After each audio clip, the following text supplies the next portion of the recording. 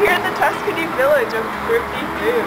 We're here to see what kind of food would be left if the ferry stopped running in Victoria and was forced to fend for itself. So let's head on in and check it out.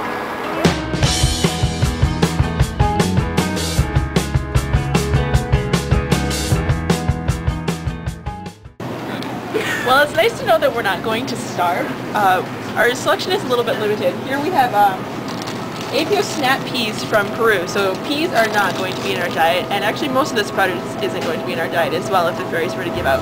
Um, our squash is from Mexico. Everything's from California, California, California. Everything is from California. Ladies and gentlemen, this is not California. So it looks like we're going to be eating potatoes and carrots and onions.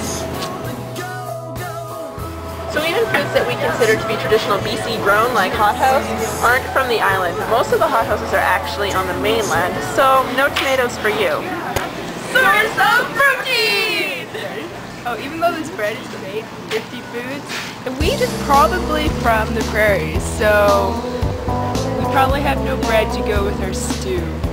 Although there is an option, um, Wildfire Bakery in Victoria on Quadra Street, they are starting ladies and gentlemen, that you are going to be becoming a vegetarian. No more ham, no more bacon, no more Lilydale turkey from Alberta. 你搞死咗，冇喊啊！ Okay, so we've searched the entire store, and this is the section where we found where most of the food comes, or vegetables, are from Victoria, such as these potatoes. These potatoes! I can't lift it. Premium quality island grown potatoes. So if there was a shortage, we would have potatoes. Carrots. These carrots. Wait, wrong one. and these, where are these guys? These are from the Saanich Peninsula.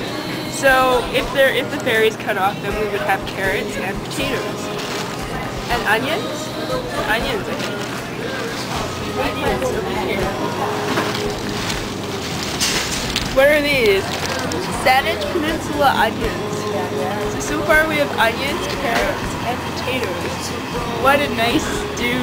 Been basically kicked out of Thrifty Foods for taking pictures, but we did find out that Island Farms milk is produced on the island. Go figure. So, in summary, you have milk that you can eat, potatoes, carrots, and onions, and maybe the odd fruit, but we're not sure. What?